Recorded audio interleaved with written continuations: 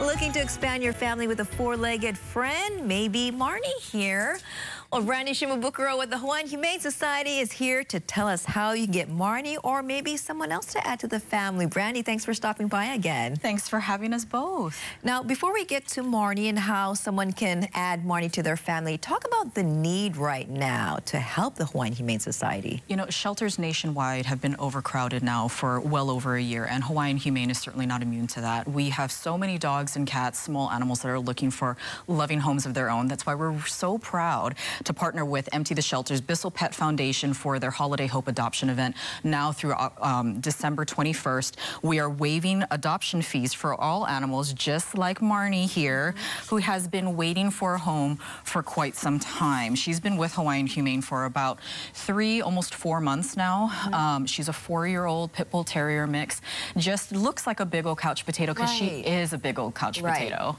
She would love to have a home that's just going to give her a nice, mellow, quiet environment. And there is a pet for every kind of family here with Hawaiian Humane. And, and Marnie, this is how Marnie is. As soon as I entered, uh, that's the first thing I said is like, wow, she's really chill. Yep. You know? She just wants all of the body rubs and pets, wants mm -hmm. the love. She's just an awesome girl and we love her. Okay, and then they can just get go down to the Humane Society, 11 a.m. You open up if they really specifically want Marnie, right? That's right. She's uh, here at our Mo'iliili campus uh, in town, so you can come and visit us as soon as we open our doors at 11 today. We are open mm -hmm. till 6. Uh, open daily at Mo'iliili and then open Wednesday through Sunday in Ewa we have lots of pets there waiting for homes as well.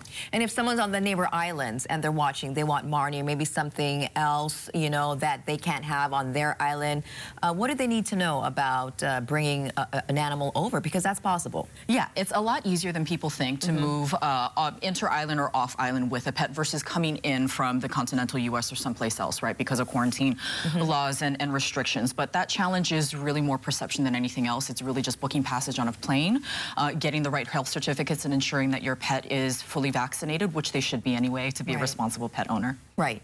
Um, and also, uh, at this time, more adult dogs like Marnie um, are in the shelters because families like the little ones, the puppies, the kittens, but you say, you know, it's actually sometimes a better idea to get a, a grown-up animal. Exactly. You know, puppies and kittens, they have a lot of energy and you need to put a lot of time and energy into giving them the structure and training that they need. A dog like Marnie, who's four years old, mm. look at her, she's so mellow. Yes. You know, she's so easy to walk on leash. She's just, I mean, you have such a life that's just a lot easier versus the time commitment of a smaller, of a smaller, younger pet, yeah. right?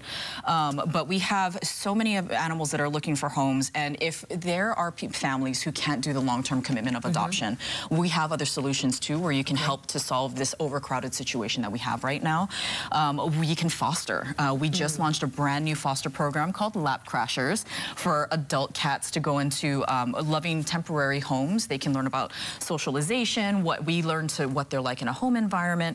It's very similar to our existing short-term foster program, Couch Crashers for Dogs. So we're really excited about that for members of the public who want to come in and really help to alleviate our space constraints constraints in the shelter. And Marnie knows how to sit? She, let me start. Let me try. Okay, so Marnie, here I have Marnie. Does she Marnie hears, knows where your she hears, are. She hears the Marnie, treat come, bag. Marnie, sit. Right sit. Marnie, sit. Marnie, sit. Do it. Oh, there we go. A little potato. She She's likes a... Brandy's voice. Brandy's works. She is sweet. She um, she, she, really is, is a so staff and volunteer favorite with Hawaiian Humane. It's impossible not to bond with the animals mm -hmm. in mm-hmm. our care when they're with us for so long. And for a dog like Marnie, she's just, we don't understand why she's still with us. She's just the best dog. Well, maybe she might not be for much longer after this one because Pickles, who was on our show the last time, Pickles got snatched up by someone who lives on Kauai. She he, she did. He actually mm -hmm. lives here now, but he's planning to move to Kauai. Okay. Has grand dreams of her living the best life, Aww. just having lots of land and, and chasing all the chickens and just having having a wonderful time with him. Um, it was we would love it if a KHON Take Two viewer took home Marnie today. All right, 11 a.m. Doors open. Marnie can be yours. Brandy, thank you so much for stopping by and happy holidays. Happy holidays. Thank you.